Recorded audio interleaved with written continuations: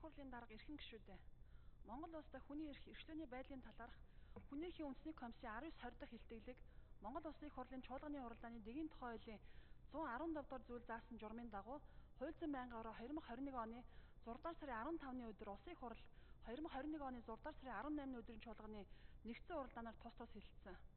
Улсын их хурлын чуулганы нэгдсэн уралдаанаар илтгэлийг хэлэлцэх үед хуралдаан дарлагчаас Монгол улстай хүний эрх эрхлөөний байдлын талаарх 19 20 дахь илтгэлийг хэлэлцэнтэй холбогдуулан авах арга хэмжээний тухай Улсын их хурлын тогтоолын төслийг босруулах чиглэлийг хууль зүйн байнгын ороонд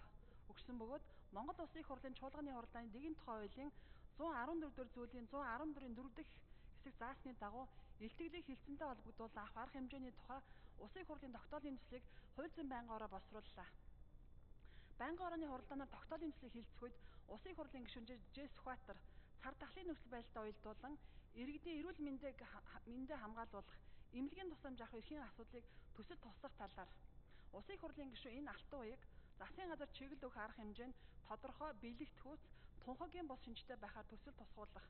За улсын хурлын гишүүн Цэ мөх цэцэг халдвар авсан иргэдэг ялварлан гадуурхаж байгаа төрийн албан агчид хариуцлага оногдуулах, эрүүл мэндийн байгууллагын ажилтан албан хаагчдын цалин нийгмийн халамжийг сайжруулах, түүнчлэн хүүхэд хамгааллын асуудлыг төсөл тусгах талаар. Улсын их хурлын гишүүн Б энх баяр Улсын онцгой комиссын хүний эрх эрхлөө хязгаарлахад чиглэсэн шийдвэр гарах үйл ажиллагаанд хүний эрхийн үндэсний комиссийн гишүүдийн оролцоог хангадаг байх, төр болон албан саатуулах байранд саатуулагдж байгаа иргэдийн эрүүл мэндэд хамгаалуулах, эмнэлгийн тусламж авах эрхийг хангах тухай асуудлыг төсөл тусгах талаар. Улсын их хурлын гишүүс Бямцогт хүний эрх эрхлөөг хангах, хамгаалах чиглэлээр авч хэрэгжүүлэх арга хэмжээг тодорхой болгох, Монгол Улсын үндсэн хуулийн 19 дугаар зүйлийн зохицуултыг хэрэгжүүлэхэд чиглэсэн арга хэмжээг төсөл тусгах шаардлагатай талаар тус тус санал хэлсэн болно. Байнгын орооны хуралдаанд оролцсон гишүүдэд олонх Монгол улстай хүний эрх эрхлөөний байдлын талаарх 19 20 дахь илтгэлийг хилцэнтэй холбогдуулан авах арга хэмжээний тухай улсын хурлын тогтоолын төслийг дэмжиж чуулганы нэгдсэн уралдаанаар хэлэлцүүлж батлуулахын зүйтэй гэж үзсэн болно.